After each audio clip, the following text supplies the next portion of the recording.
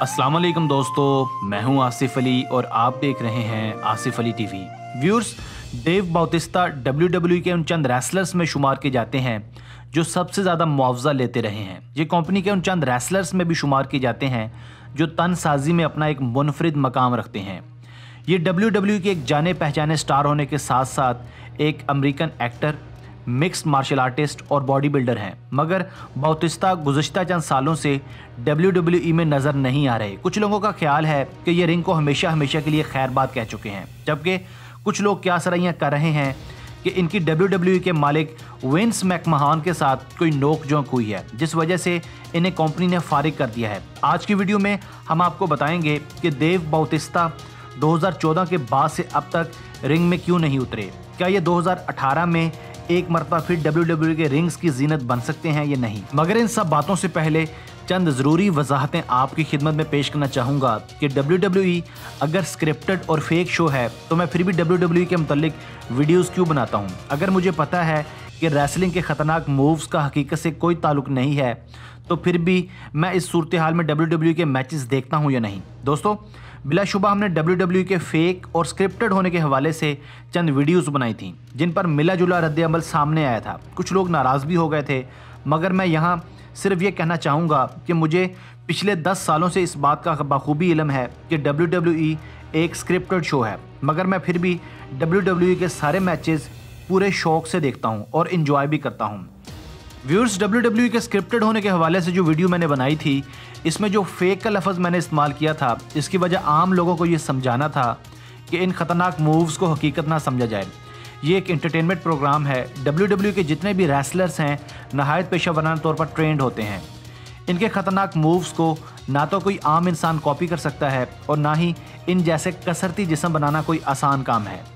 ان سب wrestlers کو ایک لمبی ٹریننگ کے بعد ہی رنگ میں اتارا جاتا ہے۔ یو ایس اے کی تقریباً تین چوتھائی آبادی اس حقیقت کو اچھی طرح سے جانتی ہے کہ ڈبلیو ڈبلیو ای ایک انٹرٹینمنٹ پروگرام ہے، جبکہ ہماری زیادہ تر آبادی ان فیک مووز کو حقیقت سمجھ کر دل سے لگا بیٹھتی ہے۔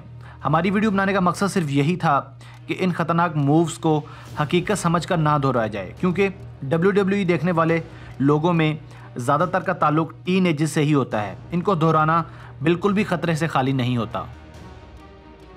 دوستو، اب ہم اپنے ٹاپک کی طرف واپس آتے ہیں کہ باؤتستہ آج کل رنگ میں کیوں نظر نہیں آ رہے۔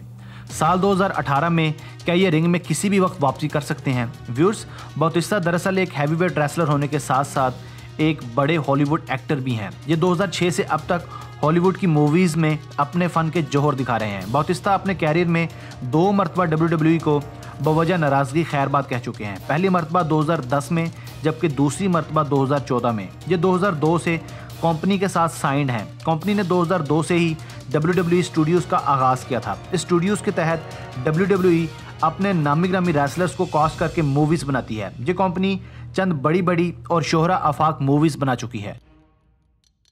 دوستو ڈبلیو ڈبلیو اسٹوڈیوز کے تحت the Scorpion King the Rundown the Marine Inside Out اور اوکولوس جیسی بڑی بڑی موویز بن چکی ہیں۔ بلا شبہ کمپنی ان موویز کا اچھا خاصا معاوضہ اپنے ان ریسلنگ سٹارز کو دیتی ہے۔ کمپنی شروع دن سے ہی زیادہ مہربان جان سینا پر رہی ہے۔ زیادہ تر موویز جان سینا پر ہی پکچرائز کی گئی ہیں۔ جب سال دو ہزار نو میں دیو باؤتستہ نے بھی موویز لینے کی ڈیمانڈ کی تو کمپنی نے صاف انکار کر دیا، جس کی وجہ سے بوتستہ نے احتجاجن سال دو ہزار دس میں ڈبلیو ڈبلیو ای کو خیر بات کہہ کر فل ٹائم ہالی ووڈ کا رخ کر لیا۔ مگر تین سال ڈبلیو ڈبلیو ای سے باہر رہنے کے بعد سال دو ہزار تیرہ میں ایک مرتبہ پھر را کے ایڈیشن میں ان کی واپسی کروائی گئی۔ ایک سال تک یہ کمپنی کے ساتھ منسلک رہے۔ بلاخر دو ہزار چودہ میں ایک مرتبہ پھر ان کی کمپنی کے ساتھ ٹھن گئی۔ صورتحال تب زیادہ گمبھیر ہو گئی جب ڈبلیو ڈبلیو کے مینیجر ٹرپل ایچ نے ایک میچ میں انہیں فورفٹ کر کے رینڈی اوٹن کو ونر قرار دے دیا۔ یوں ایک مرتبہ پھر ڈیو باؤتستہ نے احتجاجن ڈبلیو ڈبلیو ای کو خیر بات کہہ ڈالا اور اپنی پوری توجہ اور وقت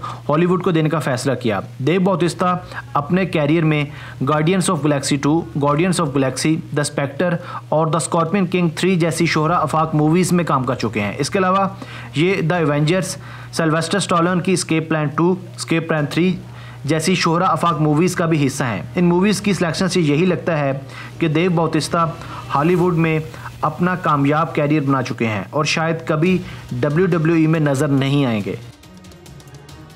ویورز، مگر یہاں باوتستہ کے فینس کے لیے خوشی کی خبر یہ ہے کہ انہوں نے دو ہزار سترہ کے اواخر میں ڈبلیو ڈبلیو کے رنگز میں دوبارہ اترنے کا اعلان کر دیا تھا۔ ان کا کہنا تھا کہ ان کے دل سے ریسلنگ کبھی نہیں نکل سکتی اور دوبارہ جلد دو ہزار اٹھارہ کے آغاز میں کسی بھی وقت کمپنی ان کو رنگ میں دوبارہ اتار سکتی ہے اور یہ دوبارہ اسی جوش و جذبے کے ساتھ اپنے فینس کو انٹرٹین بھی کریں گے۔ دوستو، میں ہوں آصف علی اور آپ دیکھ رہے تھے آصف علی ٹی وی۔